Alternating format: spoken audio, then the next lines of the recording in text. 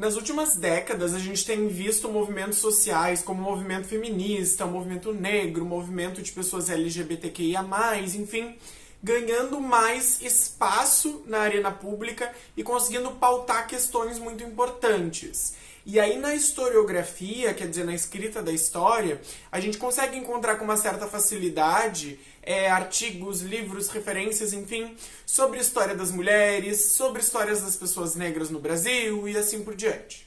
Essas duas temáticas são inclusive ensinadas em muitas escolas do Brasil. Mas vamos pensar aqui juntos. Você já ouviu falar de uma história LGBTQIA+, Será que existem estudos nesse sentido? Onde que a gente acha esses estudos? Vem comigo depois da vinheta que a gente vai falar um pouquinho sobre isso hoje. O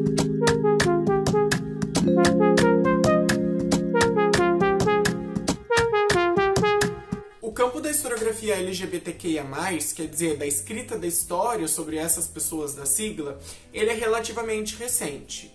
No século XIX e no século XX se desenvolveram algumas pesquisas sobre gays, lésbicas, travestis, transexuais e outras pessoas da sigla sob um viés patologizante, ou seja, sobre um viés que via esses corpos como doentes e necessários de intervenção e de cura. Nas últimas décadas, no entanto, isso tem mudado e nós temos visto algumas das ciências humanas incorporando pessoas LGBTQIA+, nos seus estudos, sem esse viés de patologia e de doença. Como mostra o professor Benito Schmidt, no artigo que eu vou deixar a referência linkada aqui embaixo, existiram inclusive no Brasil os primeiros estudos de antropologia, sociologia, enfim, com viés não patologizante sobre sujeitos LGBTQIA+, antes do período da ditadura civil-militar que iniciou em 1964. Durante a ditadura, infelizmente, esses estudos eles foram é, escanteados e eles só voltaram a emergir com um certo fôlego ali na década de 80, final da década de 70,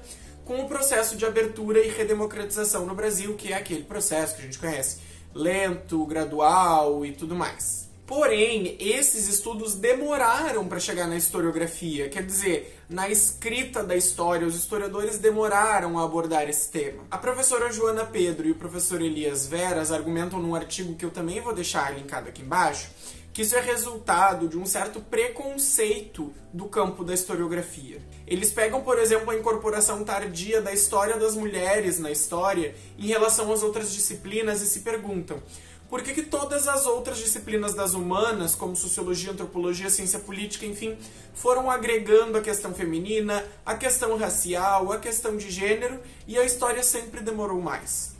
Por muito tempo, a escrita da história se focou em grandes questões econômicas ou em grandes questões políticas. Então, falou de sistemas de produção e da história dos grandes homens do Brasil. Ocorre que as pessoas que tinham acesso à política no Brasil, no geral, eram homens brancos, heterossexuais, cisgêneros e, com frequência, ricos, porque as outras partes da população ao longo da nossa história foram excluídos do direito à cidadania.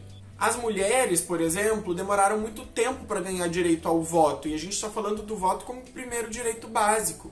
Então imagina que é muito difícil de nessa história política tradicional dos grandes feitos, tu encontrar uma grande mulher política, justamente porque essas mulheres não tinham acesso à entrada na política institucional. Por isso, por muito tempo, a história teve esse foco focado no homem branco, cisgênero, heterossexual, rico, classe alta e etc.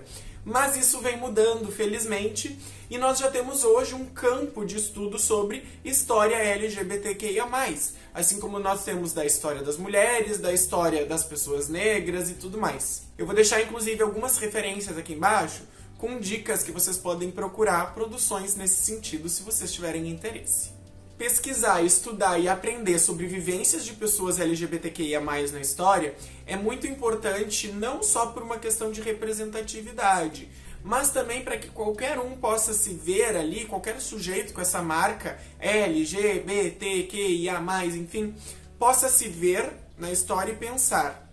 Como pessoas fizeram coisas importantes no passado, eu também posso fazer no presente e também posso fazer no futuro. Ocorre daí, porém, uma questão muito importante.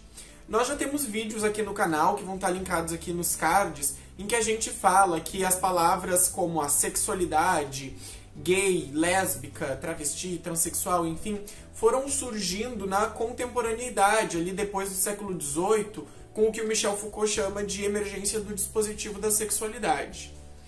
Então, será que a gente pode falar, por exemplo, de homens gays na Grécia Antiga, ou de mulheres lésbicas na Idade Média, ou de pessoas trans, sei lá, no Estado moderno absolutista francês? Quer dizer, a gente pode usar nomes criados após o século XVIII para se referir a pessoas que viveram antes desse período?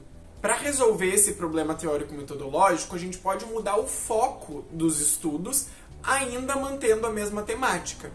Como assim? Se pode estudar, como fez, por exemplo, o Michel Foucault no História da Sexualidade, as relações sexuais e amorosas entre homens na Grécia Antiga e na Roma Antiga. Perceba-se, não se está falando de homens gays, e sim de homens que praticavam sexo ou tinham relações amorosas com outros homens. A gente pode também falar, por exemplo, de pessoas que desafiaram as normas de gênero na Idade Média e como que esse desafio foi feito e quais que eram as normas que foram é, descumpridas. Mais recentemente ainda, a gente pode falar de sujeitos LGBTQIA+, declarados dessa forma, como por exemplo, nós temos um vídeo aqui no canal, o Harvey Milk, que foi o primeiro político homossexual assumido dos Estados Unidos, ou então Madame Satã, que foi é, uma bicha aqui do Rio de Janeiro, do Brasil, enfim, do século XX, e que teve uma trajetória importante aí ao longo da história do Brasil no século XX. Desse modo, a gente pode estudar como que as pessoas se relacionavam, como que as pessoas viviam e tudo mais, e escapar da ideia do sempre foi assim. Se em algumas sociedades, em algumas culturas já foi diferente, quer dizer que o futuro também poderá ser diferente. E essa, para mim, é uma das grandes potências da história LGBTQIA. Ela permite que nós, sujeitos que nos identificamos com alguma letra da sigla, possamos sonhar em com um futuro diferente em que haja, por exemplo, menos preconceito. Porque afinal de contas, nem sempre foi assim, e se no passado já foi diferente, a gente pode mudar o presente para o futuro ser diferente também. Bom, pessoal, espero que vocês tenham gostado do vídeo. Ele é um vídeo um pouco mais teórico sobre um campo de é, atuação na historiografia hoje. Caso vocês tenham gostado desse vídeo, não esqueçam de dar um like se inscrever no canal se vocês ainda não forem inscritos. E comentem aqui embaixo o que vocês acharam sobre esse vídeo e se vocês têm interesse em alguma temática de história LGBTQIA+. Quem sabe a gente pode abordar aqui no canal. Estará linkado aqui embaixo o nosso link para as redes sociais, então não deixe de nos seguir lá também. Um grande beijo e até o próximo vídeo.